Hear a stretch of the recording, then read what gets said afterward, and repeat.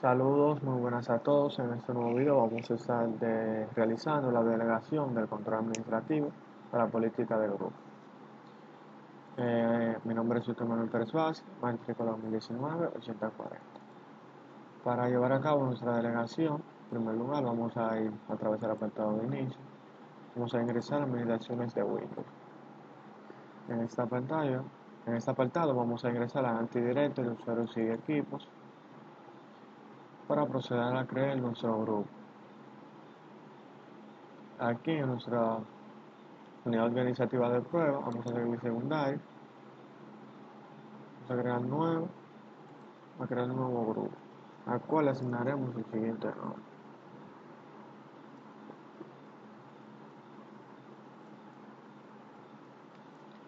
Vamos a OK. Como podemos ver, en la parte derecha ya se ha agregado nuestro nuestro grupo admin.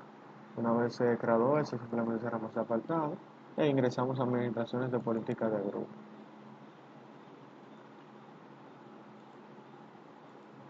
Y en esta pestaña nos dirigimos a donde creamos eh, nuestro grupo, perdón, en nuestra unidad de prueba. En la parte izquierda vamos a la parte superior y ingresamos en la pestaña de delegación. En esta parte vamos al botón eh, inferior y ahí damos el botón agregar. Y aquí en ese campo escribimos el nombre de la política que acabamos de, del grupo que acabamos de crear.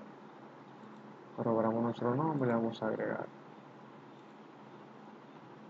Una vez en ese, como podemos ver aquí, le damos a avanzar, botón de avanzado. Y en ese apartado procedemos a seleccionar nuestro grupo como podemos aquí. En la parte inferior vamos a asignarle a nuestro grupo de nuestro grupo de admin vamos a asignarle los permisos de control.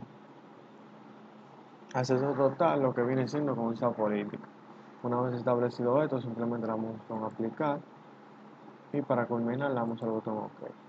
Y ya hemos implementado nuestra delegación el control administrativo de nuestra política de grupo. Estos son los pasos sencillos a seguir para llevar a cabo esto.